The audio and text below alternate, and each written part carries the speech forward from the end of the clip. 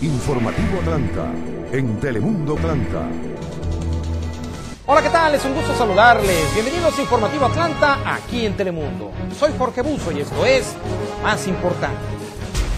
Oficiales de policía de todo el estado de Georgia, familiares y amigos, dieron un último homenaje el pasado sábado al teniente de la policía de Chattahoochee Hills, Michael Bott, cuyos restos mortales descansan ya en el cementerio Arlington de Sandy Springs. El pasado 15 de febrero, el teniente Bott, 30 años de servicio, los dos últimos desde la creación del Departamento de Policía de Chattahoochee Hills, al sur del condado de Fulton, muere a tiros a manos de Robert Cook, de 44 años, quien Bott ya había arrestado anteriormente por manejar en estado de ebriedad y asalto agravado.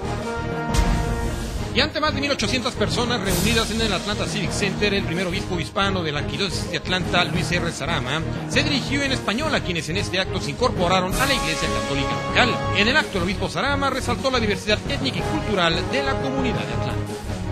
Esas son unas pequeñas cortas palabras en español de lo que nosotros somos en diversidad de razas, de lenguas, culturas y costumbres. Y recuerde que mucha más información está en nuestro sitio de internet y al alcance de su celular en Atlanta la mano. Hasta aquí con las noticias. Somos Telemundo Atlanta, les saluda Jorge Bus. Informativo Atlanta, en Telemundo Atlanta.